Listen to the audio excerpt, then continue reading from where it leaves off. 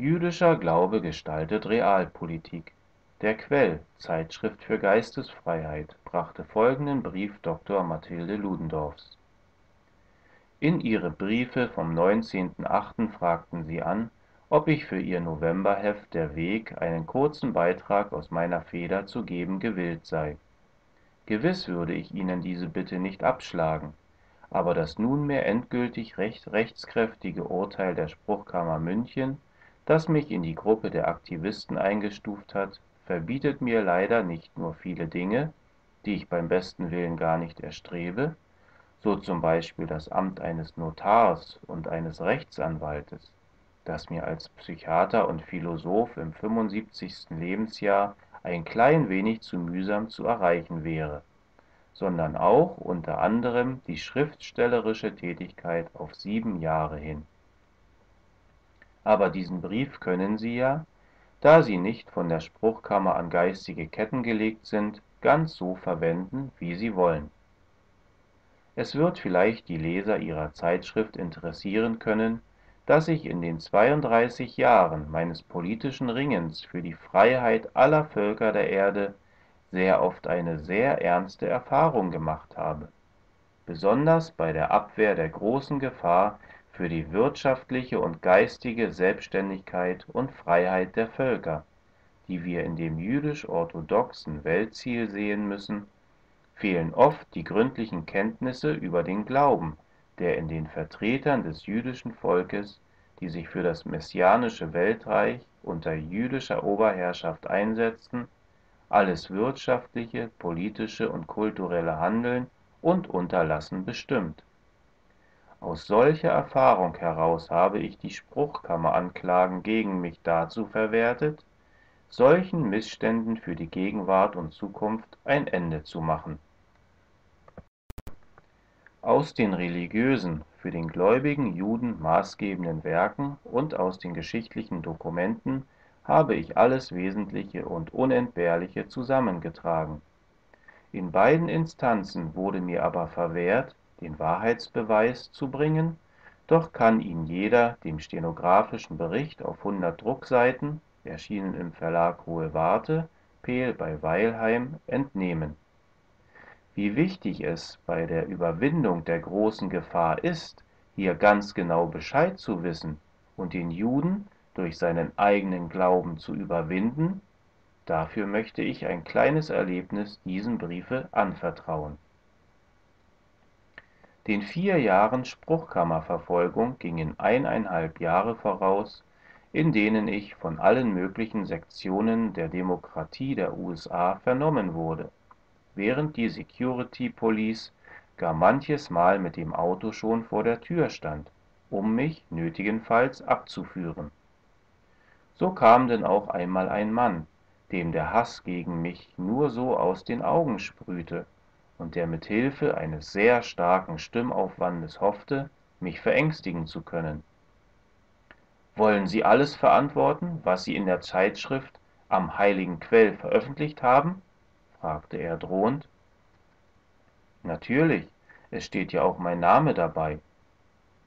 Darauf wurden mir Stellen aus Artikeln vorgelesen, die offenbar als ein großes Verbrechen angesehen wurden. Und als ich dabei völlig ruhig blieb, kam die Frage, nicht gesprochen, sondern geschrien, Wissen Sie denn gar nicht, was Ihnen bevorsteht? Oh doch, ich habe ja schon ein ganzes Jahr hindurch den herrlichen Freiheitsgeist der Demokratie der USA kennengelernt und weiß recht wohl, was mir bevorsteht. Aber ich begreife sie überhaupt nicht. Was fällt Ihnen ein? Ja, Möchten Sie nicht hören, weshalb sie mir so unbegreiflich sind? Wenn ich mich nicht sehr irre, sind Sie doch Jude, und ich möchte darauf wetten, dass Sie orthodoxer Jude sind. Deshalb begreife ich gar nicht, weshalb Sie so mit mir verfahren. Sie wissen doch so gut wie ich, dass Isaak, der von ihrem Gott Jahwe selbst vor dem Opfertode behütet wurde, in allen seinen Worten so maßgebend und unantastbar ist wie ihr Gott Jahwe selbst. Der Gesichtsausdruck veränderte sich schon ein wenig. Sie wissen auch, dass sein Sohn Jakob, der sich durch eine List den Segen für Esau erschlich, das jüdische Volk bedeutet. Der Segen, der Jakob den Tau des Himmels, die Fettigkeit der Erde, Korn und Wein die Fülle verheißt und ihm zusagt, dass die Völker ihm dienen müssen und ihm zu Füßen fallen müssen, wird von allen orthodoxen Juden mit Freuden begrüßt und mit Eifer zur Erfüllung geführt. Niemals wird irgendein orthodoxer Jude, also niemals werden auch sie selbst diesen die Weltherrschaft verheißenen Segen Jahwes durch Isaak vergessen. Hass und Groll sind aus dem Gesicht verschwunden und Spannung, was nun noch von mir gesagt wird, liegt auf den Zügen. Gern aber vergessen alle orthodoxen Juden und auch sie in dieser Stunde den zweiten Segen, den Jahwe durch den Mund Isaaks nun dem Esau gibt, nachdem er die List erkannt hat. Esau ist alles nichtjüdische Volk, das wissen sie, und sie wissen auch, dass in ihrer Tora im ersten Buch Mose, Kapitel 27, Vers 39 und 40 zu lesen steht, da antwortete Isaak, sein Vater, und sprach zu ihm, siehe da, du wirst keine fette Wohnung haben auf Erden, und der Tau des Himmels von oben her ist dir fern. Deines Schwertes wirst du dich nähren, und du wirst deinem Bruder dienen. Und es wird geschehen, dass du dich aufraffst und sein Joch von deinem Halse reißen wirst und auch Herr bist. Und nun kommen Sie als orthodoxer Jude und wagen es, mir zu drohen und Strafen in Aussicht zu stellen für das, was ich gesprochen und geschrieben habe? Mein Mann und ich haben in der Judenfrage nie ein Wort geschrieben oder gesprochen, das etwas anderes gewesen wäre als das Abschütteln des Joches Jakobs von unserem Halse, mit dem Ziele, auch Herr zu sein. Wer also erfüllt denn hier die Verheißung, die Jahwe durch Isaak gibt? Nun, ich denke doch, der Esau in Gestalt meines verstorbenen Mannes und ich. Und wer wagt es ihrem Gotte Jahwe zuwider zu handeln? Das Gesicht mir gegenüber ist weiß, der Jude erhebt sich, spricht mit der Stimme bebend die Worte Ich danke sehr, verbeugt sich und verlässt rückwärtsgehend den Raum. Dieser kleine Vorfall ist nur einer von sehr vielen Erfahrungen in dieser Richtung während 32 Jahren. Zweierlei möchte er denen, die die Gefahr überwinden wollen, an die Seele legen. Einmal, dass sie den zusammengetragenen Wahrheitsbeweis gründlich aufnehmen und verwerten. Und zum anderen, dass sie sich tief einprägen, nur der Kampf hier wird zum Ziele führen, der gerade den orthodoxen Juden als von ihrem Gotte Jahwe selbst verheißener Kampf erscheinen muss.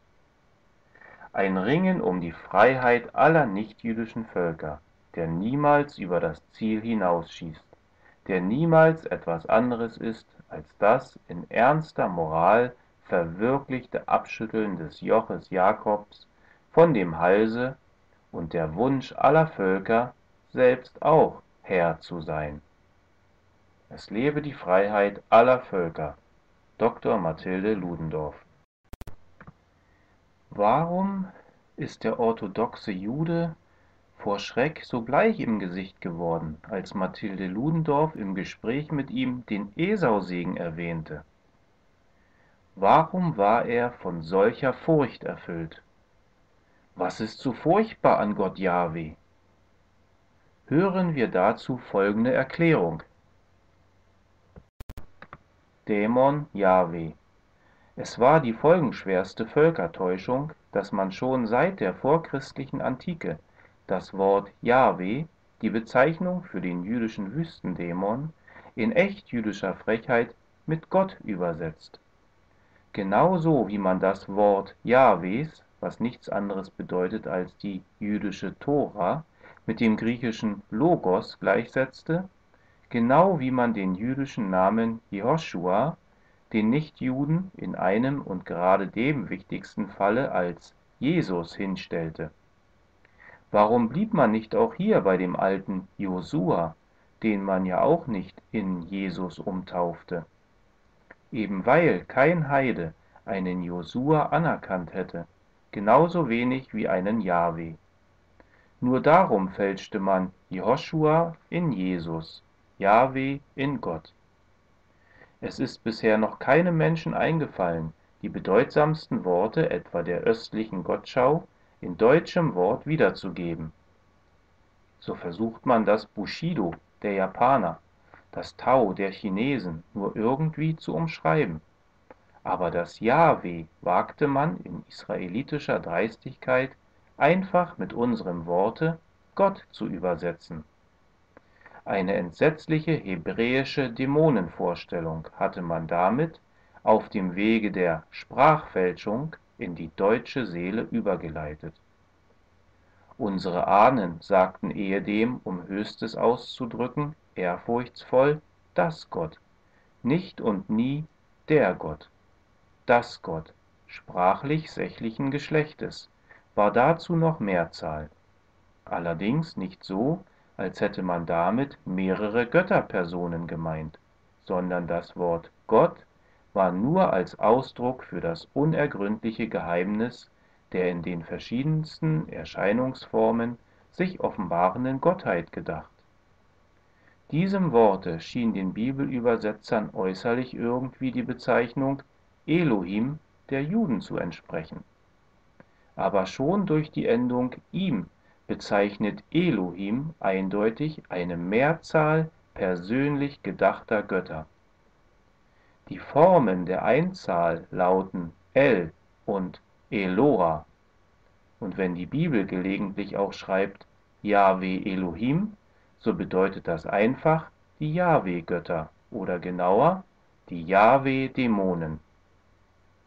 Ist doch Yahweh Elohim sicherlich das gleiche wie Yahweh Zebajot, was man ganz falsch mit Herr der Herrscharen übersetzt. Die Zebajot sind nämlich, worauf der Forscher Volz hinweist, keineswegs Gottes himmlische Engel, sondern Jahwes grauenvolles Dämonenheer. Der zweite Makkabäer, Kapitel 4, Vers 26, spricht denn auch noch ganz folgerichtig von Jahwe als dem Herrn der Geister. Die Übersetzung Gott für Jahwe kommt also gar nicht in Frage ebenso wenig aber auch Kräfte oder gar Gotteskräfte, wie manche Schriftgelehrte wollen. Götter jedoch wäre genauso falsch. Die Elohim waren nicht als Götter gedacht. Nein, der Ausdruck lässt sich, eben weil er ganz fremdem Rassenerbe entspringt, gar nicht verdeutschen. Wir müssen hier, um zu dem rechten Begriffe zu kommen, schon die orientalischen Volksvorstellungen zu Hilfe nehmen, und demnach übersetzen wir besser die Dschinns. Damit bezeichnet nämlich die in der Hauptsache vorkoranische arabische Mythologie dem Menschen gut oder feindlich gesinnte Geister, mächtige Dämonen. Doch kennt die Volksvorstellung auch noch die Ifrite. Das sind die nur Entsetzen und Unheil bringenden Geister damit kommen wir nun dem jüdischen Begriff der Elohim und natürlich auch Jahwes ganz nahe. Denn nach der Bibel ist ihr und auch des späteren Jahwes in Erscheinung treten und wirken ganz dem der Ifrite entsprechend. Jahwe ist eben der Dämon des Entsetzens. Lesen wir etwa den Bericht von dem Ringkampf Jahwes mit Jakob im ersten Buch Mose 32 so zeigt sich der Gott klar als Dämon. Da bittet dieser Allmächtige den Jakob, Lass mich los, die Morgenröte bricht an. Hier haben wir die uralte, aus den Sagen und Märchen fast aller Völker bekannte Anschauung, dass der Unhold oder Dämon, so wie er von der sieghaft aufgehenden Sonne überrascht wird, sterben muss. Er zerplatzt entweder oder wird in Stein verwandelt und so grauenvoll ist dieser Dämon, dass sein Volk selbst vor ihm erschauert. Da befiel das Volk ein Jahwe-Schrecken. Siehe dazu 1. Buch Samuel, Kapitel 11, Vers 7. Mose ist der Einzige, der es wenigstens einmal gewagt hat, diesen Jahwe einmal scharf, ja überlegen in seine Schranken zurückzuweisen. Er sagt dem Allheiligen und Allwissenden geradezu ins Gesicht, er möge sich gefälligst nicht blamieren. Die Sache war so, als Israel durch seine Kundschafter von der Macht der Einwohner Kanaans hört und deshalb in Feigheit nach Ägypten zurück will, gerät Jahwe in wahnwitzige Wut. Siehe dazu Numeri, Kapitel 14, Vers 11 und folgende. Wie lange höhnt mich dieses Volk? Ich schlage es mit der Pest und vertilge es. Da sprach Moses zu Jahwe, so, dass Ägypten davon hört, dass dieses Landes Bewohner davon reden? Sie, die gehört, dass du, Jahwe, inmitten dieses Volkes weilst? Tötest du nun dieses Volk wie einen Mann, so werden die Goyim sagen, weil Jahwe nicht mehr imstande ist, dieses Volk in, jenes Land zu bringen, darum metzelt er sie in der Wüste hin. So steht auch der israelitische Gottesdienst ganz im Zeichen der Angst, und die Priester müssen besondere Vorsichtsmaßregeln treffen, um nicht zu sterben. Ja, der Allgütige wütet wie ein Tobsüchtiger, der erst Ruhe hat, wenn er alles Erreichbare kurz und klein schlug. Ich stille meine Wut an dir, dann erst lässt mein Zorneifer von dir, und ich werde ruhig werden und mich nicht weiter ärgern, heißt es in Hesekiel Kapitel 16, Vers 42. Und diesen grauenhaften Okkultbegriff, diesen Dämon der Völkervernichtung, hat man durch sprachliche Angleichung und Fälschung in unser Wort Gott gepackt. Man wusste eben, das Wort, die Sprache ist eines der wichtigsten Mittel zu der beabsichtigten Umrassung der Völker. Das Volk denkt ja nicht nach über den Inhalt der von ihm gebrauchten Worte. Und eben auf dem Wagen der Worte schmuggelte Juda wie Rom seine Begriffe ein. Drum war es schließlich so weit, dass man Gott sagte und die Elohim, die Djinni, die Ifrite und besonders den Obeifriten Jahwe meinte. Wie später dieser Jahwe zum Allgott gemacht wurde, darüber vergleiche die Schrift von Dr. Wilhelm Matthiesen Israels Geheimplan der Völkervernichtung, München 1939. Und nun mag der Leser die wichtigsten Bibelstellen auf sich wirken lassen. Das schwor Jakob beim Schrecken seines Vaters Isaak. Siehe dazu Genesis Kapitel 31 Vers 53. Der Schwur beim Schrecken seines Vaters ist bis heute noch der heiligste Schwur der Juden, das heißt, bei dieser Schwurformel empfinden sie in ihrem Aberglauben die größte Angst. Hätte ich nicht meines Vaters Gott gehabt, den Gott Abrahams und Isaaks Schrecken, siehe dazu Genesis, Vers Kapitel 31, Vers 42. Von oben brüllt Jahwe, von seinem heiligen Sitze donnert er, gar furchtbar brüllt er über sein Gefilde. Siehe dazu Jeremia Kapitel 25, Vers 30. Als Jonathan einen Philisterposten erschlagen hatte, da bebte die Erde, und so ward ein Jahwe-Schrecken. 1. Samuel Kapitel 14, Vers 15 dass man von der Größe deiner, das heißt Jahwes, Schreckenstaten rede, will man von deinen Großtaten erzählen. Siehe Psalm 145, Vers 6. Lob singet Jahwe, der auf Zion thront, kundtut den Völkern seine Schreckenstaten. Psalm 9, Vers 12. Die Pest zieht vor ihm her, und Fieber folgt ihm auf dem Fuß. Und tritt er auf, zertrümmert er die Erde, mit seinem Blick zersprengt er Goimvölker. Uralte Berge bersten, alte Hügel sinken hin und alte Wege vor ihm nieder. Siehe Habakuk, Kapitel 3, 5 bis 6. Und mein Grauen sende ich, siehe Jahwe vor dir her, und dann verschrecke ich alle Völker, zu denen du gelangst, und mache, dass vor dir alle deine Feinde fliehen. Siehe Exodus, Kapitel 23, Vers 27. Das Jahwe-Ungeheuer muss von Mose wie ein gefährlicher Tobsüchtiger beruhigt werden. In seiner Wut hatte Jahwe Israel mit der Pest geschlagen, weil das Volk bestürzt war über den Priestermord an den Korachiten. Siehe Numeri, Kapitel 17, Vers 6. Da sprach Moses zu Aaron, Nimm die Räucherpfanne, lege Feuer vom Altare darein, lege Räucherwerk darauf und trag es schleunigst in die Gemeinde und schaffe ihnen Sühne. Denn schon geht von Jahwe die Wut aus, die Pest hat begonnen. Da räucherte er und schaffte dem Volk Sühne. Siehe Numeri, Kapitel 17, Vers 11 und folgende. Moses sagte zu Jahwe, Lass mich deine Herrlichkeit schauen. Da sprach Jahwe, mein Angesicht kannst du nicht schauen, kein Mensch schaut mich und bleibt am Leben. Und Jahwe sprach, hier bei mir ist Platz, stelle dich auf diesen Felsen. Fährt meine Herrlichkeit vorüber, dann stelle ich dich in den Felsspalt und lege meine Hand auf dich, bis ich vorüber bin. Ziehe ich dann meine Hand weg, dann siehst du meine Rückseite, aber mein Gesicht bleibt unsichtbar. Siehe dazu Exodus Kapitel 33, Vers 18 und 23. Wer gleicht dir unter den Göttern, Jahwe?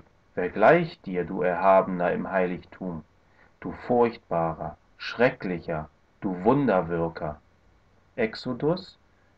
15, Vers 11. Da ging die Sonne unter und dichte Finsternis kam da erschien ein rauchender Ofen und eine Feuerflamme, und zwischen jenen Stücken flog es durch. Siehe Genesis Kapitel 15, Vers 17. Da erschien dem Mose der Engel Jahwes mitten im Feuer aus dem Dornbusch heraus. Der Dornbusch brannte im Feuer, aber der Dornbusch wurde nicht verzehrt. Siehe Exodus Kapitel 3, Vers 2. Als es am dritten Tage Morgen wurde, brachen Donner los und Blitze, eine schwere Wolke hing auf dem Berge, der ganze Berg Sinai aber rauchte, weil Jahwe auf ihn im Feuer niedergefahren war. Siehe Exodus Kapitel 19, Vers 16 und 18. Die Erscheinung der Majestät Jahwes aber war wie ein fressendes Feuer auf dem Bergesgipfel vor den Augen der Söhne Israels. Siehe Exodus Kapitel 24, Vers 17. Wir hören aus dem Feuer seine Stimme. Aber warum sollen wir sterben? Dies große Feuer frisst uns noch. Wenn wir noch länger Jahwes unseres Gottes Stimme anhören, so sterben wir noch am Ende. Wo ist ein sterbliches Wesen, das die Stimme des lebendigen Gottes aus dem Feuer hat reden hören, wie wir, und blieb bestehen? Fünfte Buch Mose, Kapitel 5, 21 und Vers 23. Ein Feuer loht in Jahwes Nase und lodert bis zu Höllentiefen, versenkt das Land und sein Gewächs, setzt in Brand die Grundfesten der Berge. Siehe 5. Buch Mose, Kapitel 32, Vers 22. Zur rechten Zeit, Jahwe, machst du dein Angesicht zur Feueresse, die die Feinde mit ihrer Glut vernichtet, und Feuer frisst sie auf. Psalm 21, Vers 10. Zu Stürmen macht er seine Engel, zu Feuerflammen seine Diener. Psalm 104, Vers 4. Da entbrannte Jahwes Zorn, und Jahwes Feuer flammte in sie und fraß am wichtigsten Teile des Lagers. Numeri, Kapitel 11, Vers 1. So spricht Jahwe, um Mitternacht fahre ich mitten durch Ägypten, dann stirbt im Lande Ägypten jeder Erstgeborene von Pharaos Erstgeborenen an, der einst auf seinem Throne sitzen sollte, bis zum Erstgeborenen der Sklavin hinter der Handmühle und alle Erstlingswürfe des Viehs. Siehe dazu Exodus Kapitel 11, Vers 4 und folgende. Und sie sollen von dem Blute nehmen und an die beiden Pfosten und den Türsturz tun. Sehe ich das Blut, dann übergehe ich euch. Kein verderblicher Streich trifft euch, wenn ich das Land Ägypten schlage. Siehe dazu Exodus Kapitel 12, Vers 7 und 13. Wenn ich, Jahwe, zum Himmel meine Hand erhebe und spreche ich, so wahr ich ewig lebe, und schärfe ich mein blitzendes Schwert und lange nach dem Pfeile, dann nehme ich an meinen Drängern Rache, vergelte meinen Hassern. Ich tränke meine Pfeile mit dem Blute, mein Schwert frisst Fleisch. Besudelt ist die Lanze von dem Blute, das aus den Herzen der Feindesführer quillt. Siehe dazu 5. Buch Mose, Kapitel 32, Vers 40 und 42. Dies letztere nennen die katholischen Bibelgelehrten Riesler und Storr in echt jüdischer Abgebrühtheit das herrliche Lied der von Israels Zukunft. Als die Jahwe-Kiste bei den Philistern in Asdod war, lag die Hand Jahwes schwer auf den Leuten von Asdod und schlug sie mit Pestbeulen, Asdod und sein Gebiet. Darauf wurde die Kiste nach Gad geschafft. Nachdem man sie hingeschafft hatte, ward Jahwes Hand zu sehr großer Bestürzung für die Stadt, klein und groß, dass Beulen an ihnen ausbrachen. Worauf die Kiste nach Ekron kam. Da schrien die von Ekron, man bringt die Kiste des Gottes Israels zu mir, um mich und mein Volk zu töten. Und Todesfurcht war in der ganzen Stadt schwer lag die Hand Jahwes darauf, und die Leute, die nicht starben, wurden mit Beulen geschlagen, und das Jammergeschrei der Stadt stieg zum Himmel. Siehe dazu 1. Buch Samuel, Kapitel 5, Verse 6, 9, 10 und folgende. Jahwes Geist aber wich von Saul, ihn verstörte ein böser Geist von Jahwe. Da sagten Sauls Diener zu ihm, Dich verstört ein böser Jahwe-Geist. Unser Herr spreche nur, deine Diener sind dir zu Willen. Sie suchen einen Mann, der die Zither zu spielen versteht. So oft ein böser Jahwe-Geist über dich kommt, spiele er, dass dir besser werde. Daraufhin kam David zu Saul und trat in seinen Dienst. So oft nun der Jahwe-Geist über Saul kam, nahm David die Zither und spielte mit seiner Hand. Da ward es Saul leichter und besser, wich doch der böse Geist von ihm. Siehe dazu 1. Buch Samuel, Kapitel 16, Verse 14 und 23. Als David dem Jahwe einen Tempel bauen will, erklärt dieser Dämon durch seinen Wahrsager Nathan, ich habe nie in einem Haus gewohnt seit jener Zeit, wo ich die Söhne Israels aus Ägypterland geführt, bis hin zu diesem Tag. Ich zog in einem Wohnzelte umher. Siehe, 2. Buch Samuel, Kapitel 7, Vers 6. An einem bestimmten Tage setzte sich Herodes in königlicher Amtstracht auf seinen Thron und hielt eine Ansprache an sie. Da brach das Volk in den Ruf aus, das ist eines Gottes, nicht eines Menschen Stimme. Auf der Stelle schlug ihn ein Engel Jahwes dafür, dass er nicht Jahwe die Ehre gegeben hatte, und von Würmern zerfressen starb er. Siehe die Apostelgeschichte Kapitel 12 Verse 21 und 23. Quelle dieses Abschnittes ist das Buch von Dr. Wilhelm Mathiesen, Kleines Bibellexikon, erschienen im Ludendorffs Verlag 1940 Nachdruck des Buches aus dem Verlag für ganzheitliche Forschung und Archivedison.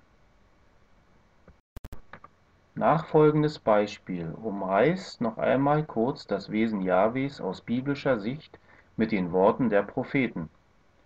Mein Leib, mein Leib, welch Schmerz, ihr Herzenswände! Es wogt, es bebt die Brust, kann nimmer schweigen. Horch, höre Hörnerhall und Kriegsgeschrei. Schlag schallt auf Schlag. Leer liegt das Land, da, zerfetzt meine Zelte, die Decken fort. Wie lang seh ich Banner, hör Hörnerhall. Heißt Adonai nicht der Schrecken Isaaks?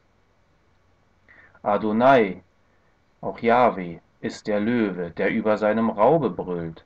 Jahwe der Herrscharen, den nennt Verschwörer, der sei eure Furcht, der euer Schrecken denn spricht er nicht durch Jeremia, dass er die Menschen wird essen lassen das Fleisch ihrer Söhne und das Fleisch ihrer Töchter und jedermann das Fleisch seiner Freunde? Sein Geist zerschmettert den Propheten in einer Schlucht des Berglandes zu Tode. Amos, der Prophet, sieht Adonai stehen am Altar, und Adonai, Jahwe, der Herrscharen, er rührt die Erde an, und sie zerschmilzt, und es trauern alle ihre Bewohner. Jesaja sieht Adonai sitzen auf dem Thron, und um ihn fliegen die Seraphim, die Feuerwesen. Und ist nicht der Seraph Meopheth, der fliegende Feuerdrache, draußen in der Wüste des Südlandes? Wird nicht Adonai an seinem Tage als Priester in seinem Tempel dahinschlachten, die Söhne Israels? Ein Schwefelstrom ist Jahwes Atem, verzehrendes Feuer seine Zunge.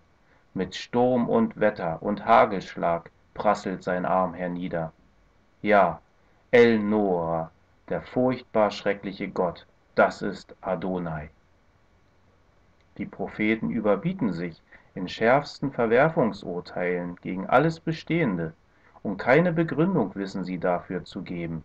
Schlechthin droht Jahwe den Menschen und jeder Menschengemeinschaft den Untergang, einen Untergang, vor dem es keinen Ausweg und keine Rettung gibt. Jahwe, das ist der Vernichtungswille selbst, und das Furchtbarste dabei ist, dass er selbst das Jahwe-Volk Israel, seinen Staat und sein Königtum, seine Siege und seine Wohlfahrt, seinen Tempeldienst und das heilige Priestertum, die erhabenen Gotteswunder und die Reden der Propheten, alles, alles als wertlos beiseite wirft. Die Träger des Esausegens wollen diese Vernichtung nicht, im Gegenteil, sie sind die schützende Hand Jahwes gegen die Vernichtung. Für sie sind alle Völker, auch das Volk Jakobs, Ideen Gottes.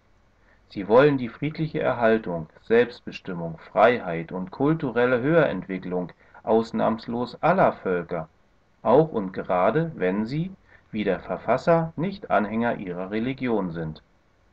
Also, all ihr Verantwortlichen dieser Erde, ergreift die ausgestreckte Hand, bevor es zu spät ist. Das Zeitalter Jakobs geht zu Ende, so oder so. Nach eurem Glauben ist dies das von Jahwe bestimmte Gesetz. Noch einmal der Esau-Segen. Es wundert mich keineswegs, dass man meine Feststellungen über den Esau-Segen widerlegen möchte. Wir dürfen schließlich nicht vergessen, dass viele Freimaurerlogen, deren eingeweihte Hochgradbrüder sie zur Errichtung und Erhaltung des Tempels Salomon zu lenken haben, in Deutschland wieder neu an der Arbeit sind.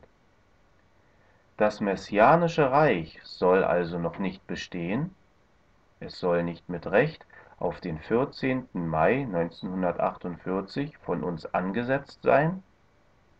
Man sagt ihnen, als Beweis hierfür brauche man doch nur auf den außergewöhnlich heftigen Streit der großen jüdischen Organisationen hinzuweisen, der gerade über die wirtschaftliche Versorgung des Staates Israel entbrannt sei?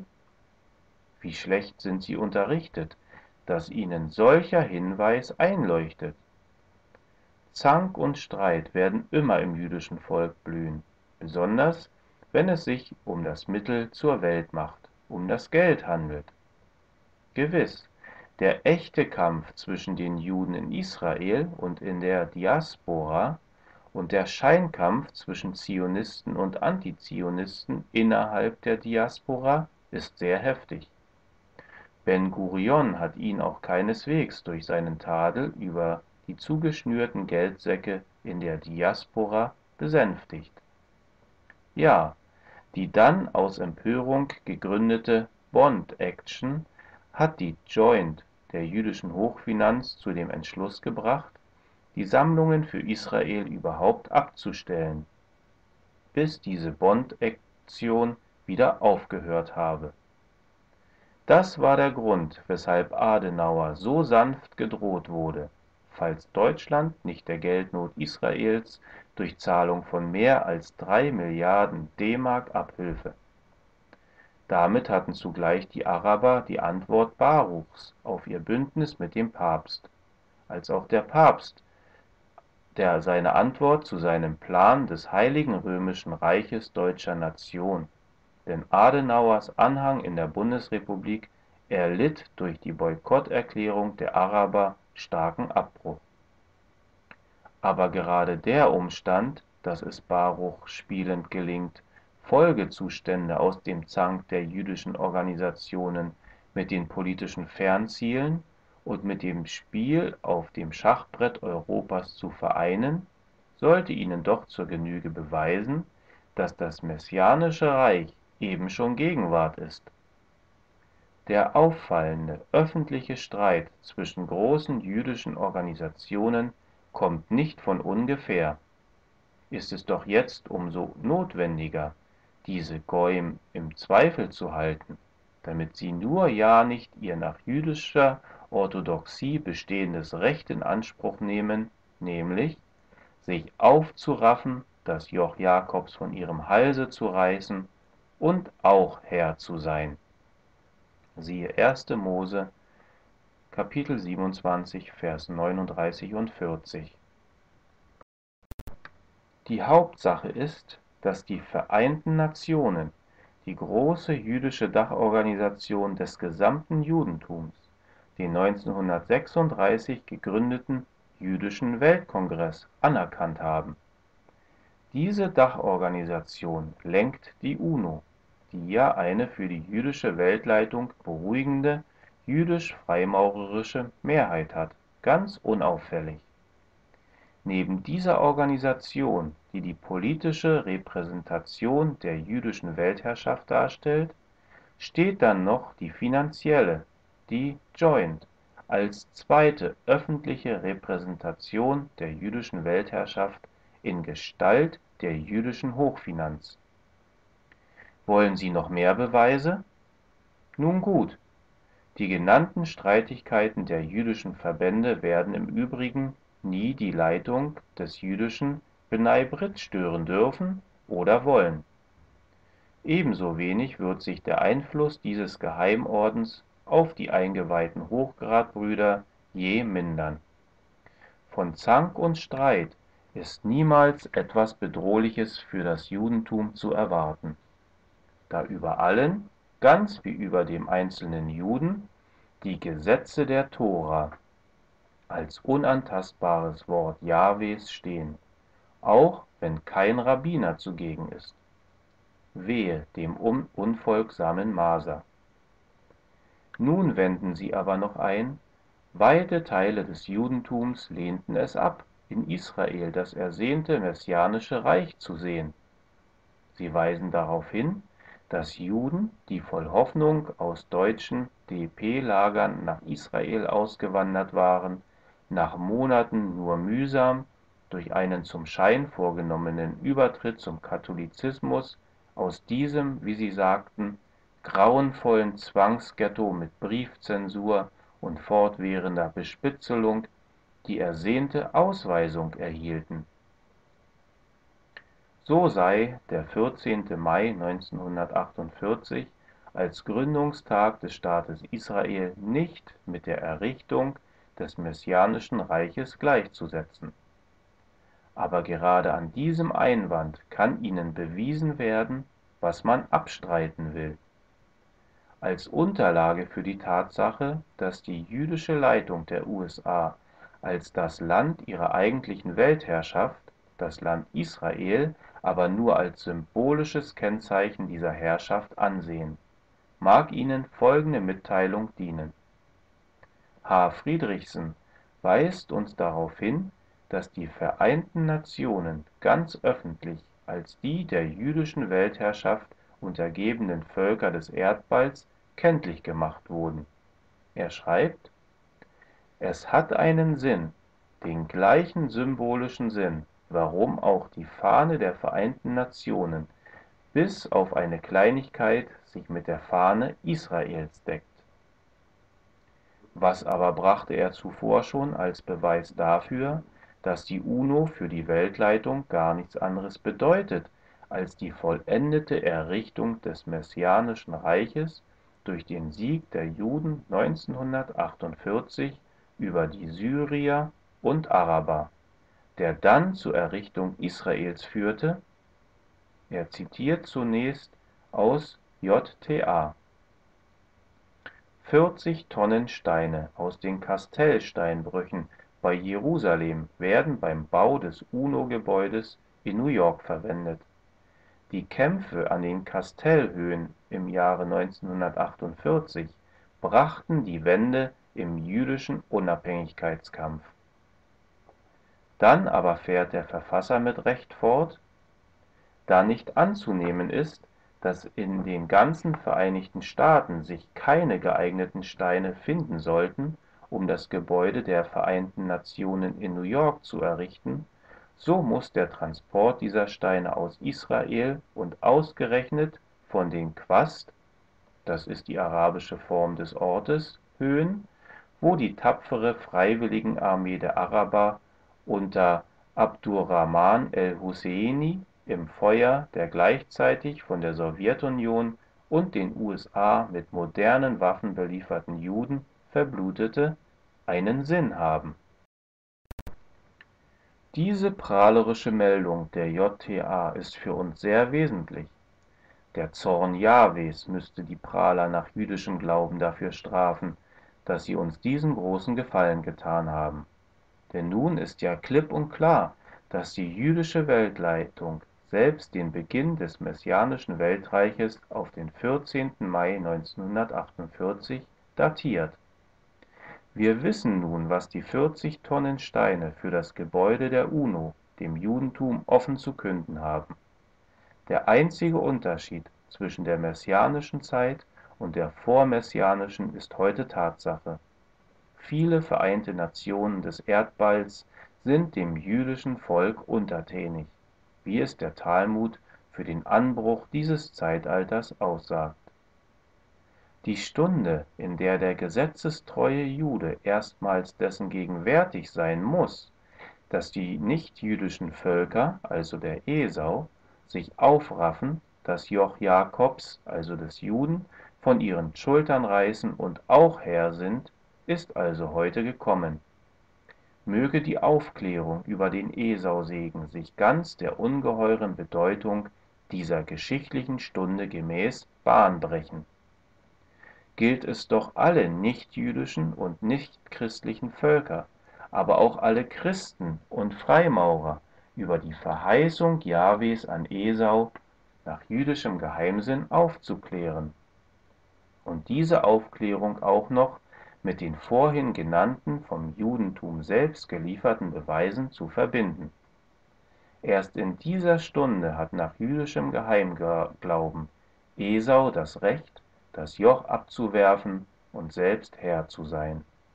Denn der Segen für Esau hat erst dann Gültigkeit, wenn die Verheißung für Jakob erfüllt, dieser also Herr über die Völker ist.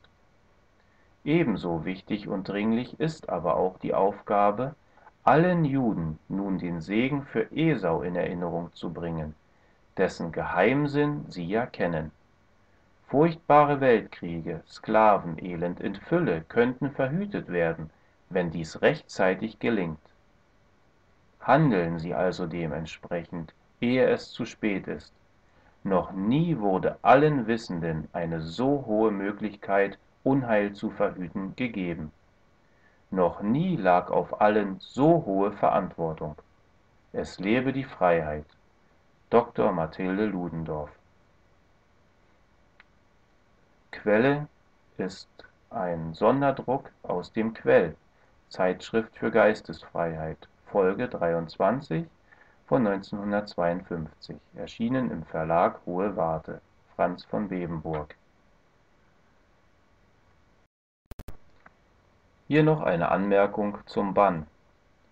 Von diesem Zeitpunkt an, der heute verwirklicht ist, wird es nach jüdischem Glauben den Zorn Jahwes auf die Juden ziehen, wenn sie Nichtjuden, die den Esausegen in ihren Worten und ihrem Handeln nicht überschreiten, behindern oder sie gar in den großen Cherem, dem Bannfluch tun es fehlt nun für den Leser folgender Zeilen nur noch das aus dem Wahrheitsbeweis Dr. Mathilde Ludendorffs Seite 268 entnommene Wissen, dass das messianische Reich sich nicht etwa durch einen gekrönten Messias auffallend kundtut. Maimonides sagt in Yad Chasaka, zweiter Teil, Seite 297, die Weisen haben gesagt, dass kein Unterschied sei zwischen dieser Welt und den Zeiten des Messias, als nur, dass die Königreiche, nämlich die Völker der Welt, in die Dienstbarkeit gebracht werden sollen. Wichtiger aber ist natürlich das Wort aus dem Talmud selbst, und zwar im babylonischen Talmud, Traktat Sanhedrin, Seite 99 zitiert nach Eisenmenger Band 2, Seite 757. Und dies ist, was unsere Weisen in dem talmudischen Traktat Sanhedrin, Seite 99, sagen, dass zwischen dieser Zeit und der Zeit des Messias kein Unterschied sei, als dass die Königreiche alsdann untertänig sein werden. Eigentlich hätten wir also schon das Recht, die Worte, die der jüdische Fürst Walter Rathenau einst ausplauderte, die auf dem Bankenkongress in Paris im Jahre 1913 schon gefallen waren, als öffentliches jüdisches Bekenntnis der errichteten Weltherrschaft anzusprechen. Sie lauten Die Stunde hat geschlagen, für die Hochfinanz öffentlich ihre Gesetze für die Welt zu diktieren, wie sie es schon bisher im Verborgenen getan hat. Die Hochfinanz ist berufen, die Nachfolge der Kaiserreiche und Königtümer anzutreten, mit einer Autorität, die sich nicht über ein Land, sondern über den ganzen Erdball erstreckt. Aber wir wollen dessen gedenken, dass der für die messianischen Ziele so erfolgreich tätige Walter Rathenau von den Weisen Israels in mancher Hinsicht durch sein allzu durchsichtig verhülltes Prophezeien wie ein Enfant terrible angesehen werden musste. So wollen wir denn die vollendete Errichtung des messianischen Reiches erst mit der voreiligen Gründung des Staates Israel datieren. Wir wollen auch, dem Wahrheitsbeweis Dr. Mathilde Ludendorffs entsprechend, uns nicht allzu sehr darüber wundern, dass Baruch nun eine Drehbühne braucht. In der unmittelbaren Gottoffenbarung der Tora den fünf Büchern Moses sind keine Angaben über die Dauer der Weltherrschaft Jakobs über Esau gemacht, während andererseits von dem Augenblicke der öffentlichen Errichtung derselben der Esau, das sind die nichtjüdischen Völker der Erde, nach jüdisch-orthodoxem Glauben das vom Gotte Jahwe selbst durch den Mund Isaaks verhießene Recht haben, ganz im Sinne des Isaaksegens für Esau zu handeln, das Joch Jakobs abzuschütteln und auch Herr zu sein. Niemand wird dies mehr beherzigen und klarer wissen als Baruch selbst, wenn er es auch niemals den Nichtjuden gegenüber zugeben oder ihnen gar sagen dürfte. Wir wissen, dass alles, was für das jüdische, messianische Weltreich geschieht, auch List und Lüge fromm sind. Wie aber könnte, so meint ein guter Kenner des Wahrheitsbeweises Dr. Mathilde Ludendorffs, Baruch solche Ziele überhaupt haben? Er weiß doch sicherlich, dass der bedeutende Bibelerklärer Rabbi David Kimschi ausdrücklich betont, Deutschland sei das Land, das von Kanaanitern bewohnt sei, die einst geflohen seien. Damit sei doch aber klar ausgesprochen, dass diese Kanaaniter, wie alle sieben Stämme Kanaans auf Befehl Jahwes, wie die Tora das sagt, vernichtet werden müssen.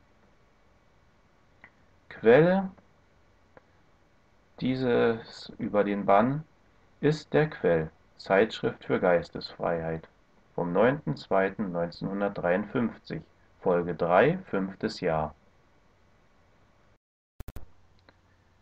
Hier noch eine sehr interessante und aussagekräftige Abbildung, wie ich finde.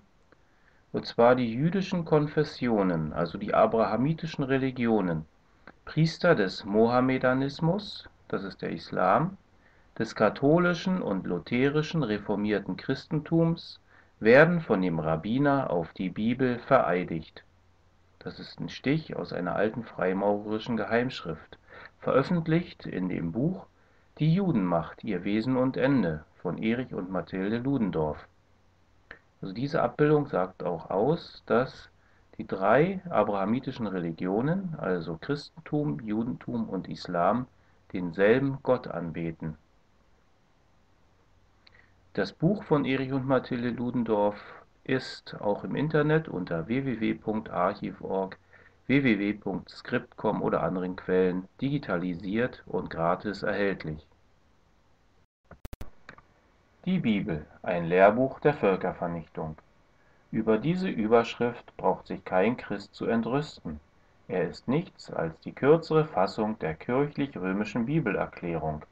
Denn zu 2. Mose Kapitel 34, Vers 10 sagt das katholische Handbuch zur biblischen Geschichte von Dr. Schuster und Dr. Holzammer, Freiburg 1910, erster Band, Seite 469 folgendes. Jahwe will große und furchtbare Wunder tun, furchtbar insbesondere durch Vernichtung der Völker, die sich dem Berufe Israels widersetzen und an denen Israel Jahwes Gericht zu vollziehen hat und Rom, das somit samt allen bibelgläubigen Kirchen, Bünden und Gesellschaften in vorliegender Schrift wohl mit Recht als Groß-Israel bezeichnet werden darf, ist nach wie vor bewusst, diesen Beruf Israels als einer Jahwe-Stiftung zum Zwecke der Völkervernichtung in Erbfolge genommen zu haben. Darauf meine Erwiderung, ich bin mir bewusst, den Beruf Esaus mit dem Esau-Segen als einer Jahwe-Stiftung zum Entledigen von Jakob Israels Joch und zum Zwecke der deutschen Volkserhaltung und individuellen Selbstherrschaft in Erbfolge genommen zu haben. Auch ich habe damit nach Genesis Kapitel 27 Vers 40 Jahwes Gericht zu vollziehen. Das Buch der Kriege Jahwes Hebräisch Sefer Milchamot Yahweh Buch der Kriege Jahwes das ist die Selbstbezeichnung des Pentateuch, der Tora, die fünf Bücher Mose, Teil der Bibel in 4. Mose, Kapitel 21, Vers 14. Der bedeutendste jüdische Kommentar zum Pentateuch, der des Rashi um das Jahr 1000 nach Christus, beginnt mit der bemerkenswerten Erklärung, dass die Völker einst Israel wegen seiner endgültig gelungenen Welteroberung als ein Volk von Räubern bezeichnet werden, weil sie nicht zu erkennen vermögen, dass ein Gott Jahwe es ist, der die Länder und Nationen unter die Gerechten verteilt. Darauf meine Erwiderung, wie werden mich denn die Anhänger Groß-Israels bezeichnen, wenn sie nicht erkennen mögen, dass ein Gott Jahwe es ist, der mir als Gerechten die Freiheit von Jakob Israels Joch verheißt.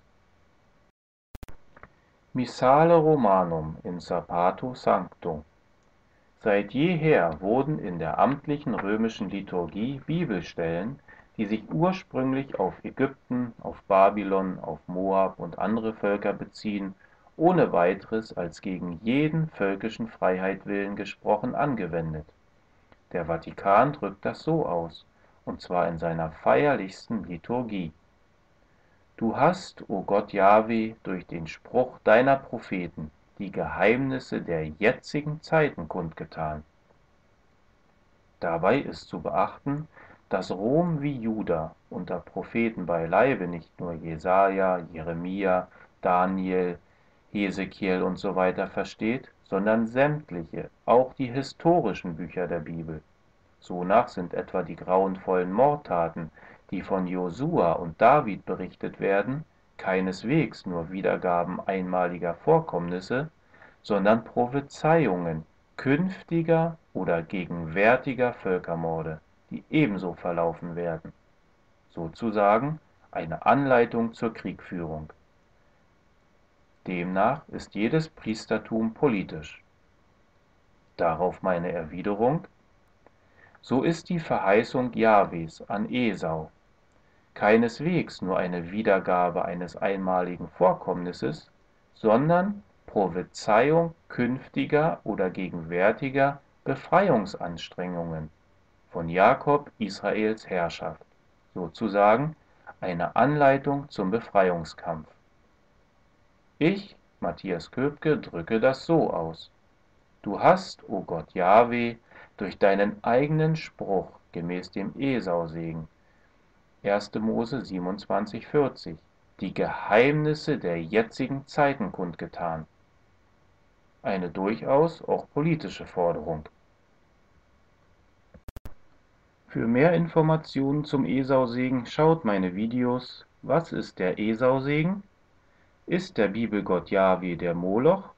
Und Denkschrift mit brennender Sorge, ein offener Brief von Matthias Köpke. Im Internet unter www.youtube.com www.archiv.org oder meinem YouTube-Kanal www.youtube.com-user-genesis2740 Blessing. Oder schaut meine elektronischen Bücher Das Buch der Kriege Jahwes und Vom Wesen und Wirken des Bibelgottes Jahwe und seiner Kirche, ebenfalls im Internet unter archiv.org oder script.com erhältlich. Auf diesem Bild sehen wir die Beschneidung des Juden Jesus von Nazareth.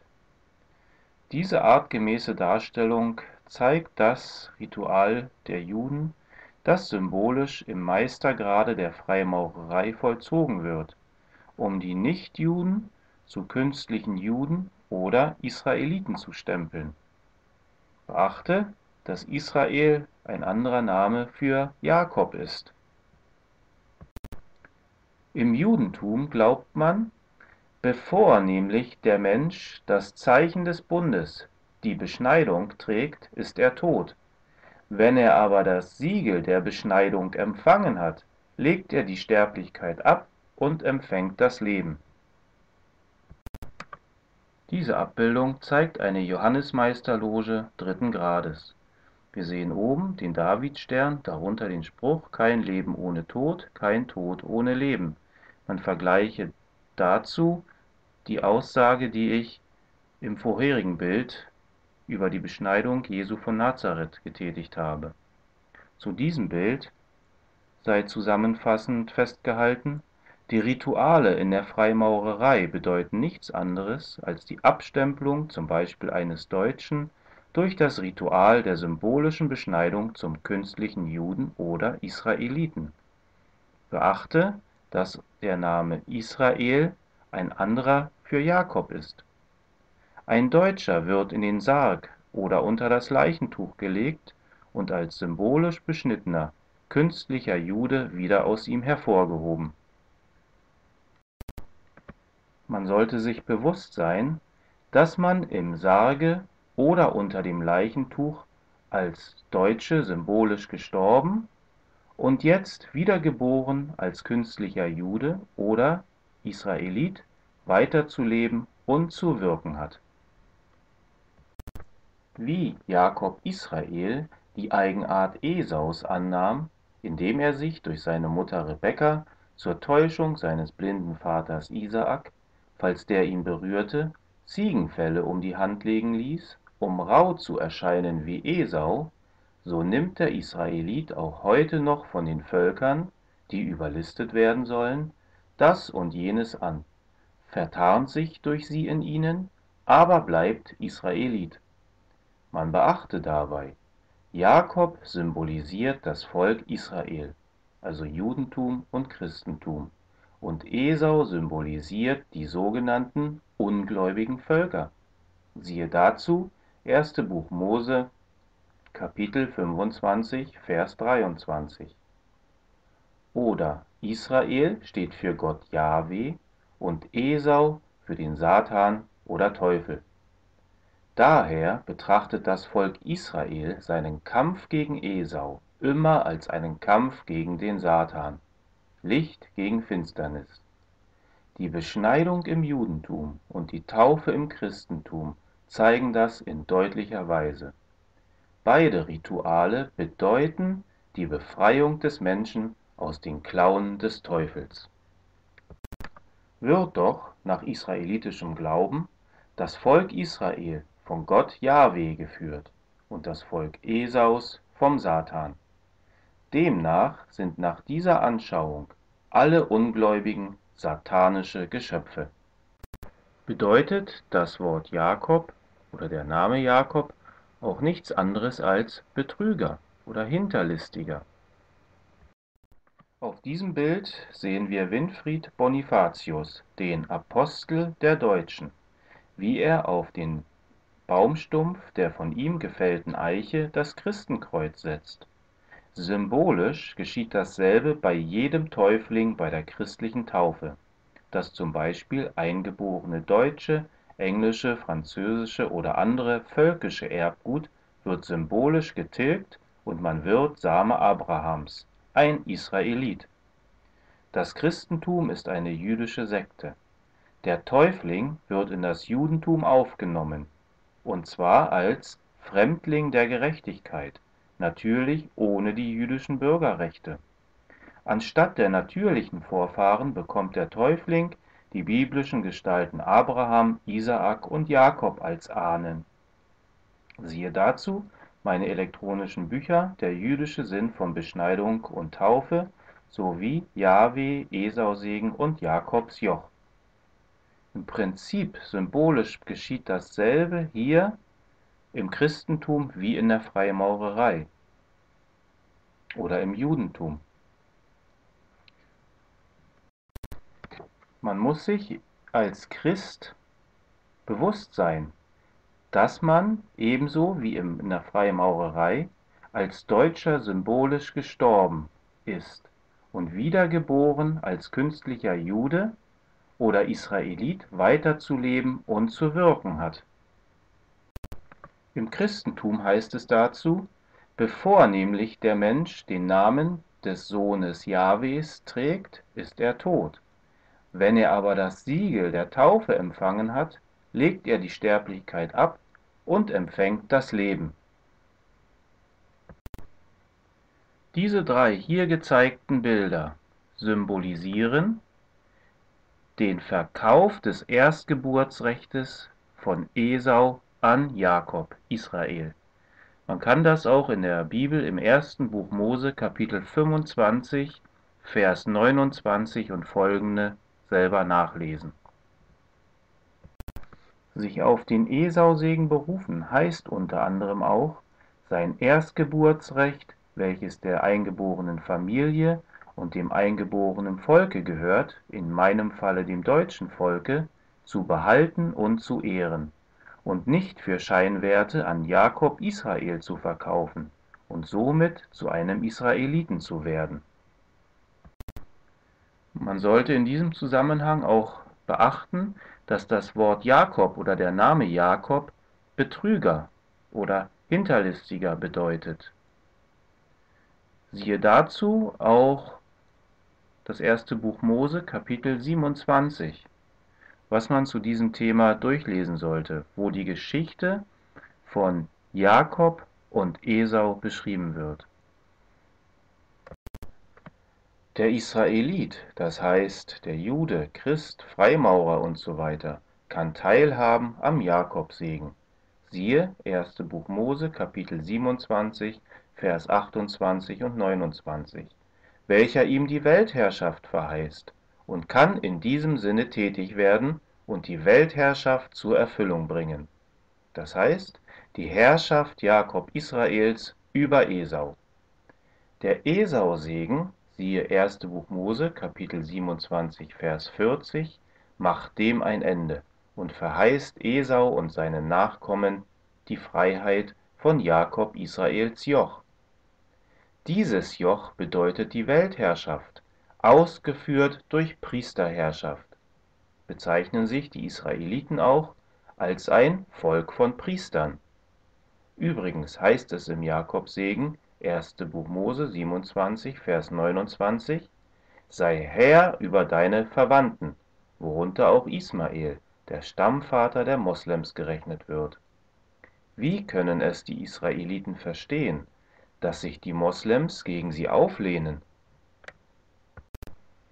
Und schaut euch zum Thema Esau-Segen auch noch meine anderen Videos an, die unter dem Titel Was ist der Esausegen? und Denkschrift mit brennender Sorge, ein offener Brief von Matthias Köpke auf YouTube oder www.archiv.org erschienen sind.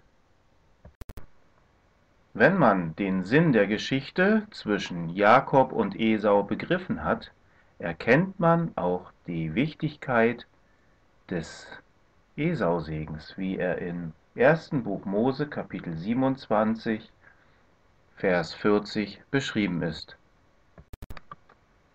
Hier noch eine sehr schöne Karikatur bezogen auf das vorher gezeigte Bild. Der deutsche Gottglaube.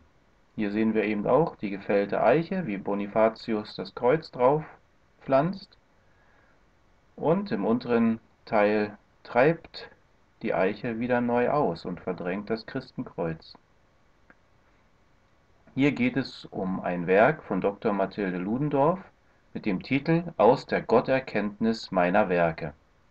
Ein sehr schönes Büchlein, welches Auszüge aus den philosophischen Werken Mathilde Ludendorffs enthält. Das ist das Band 2 der blauen Reihe.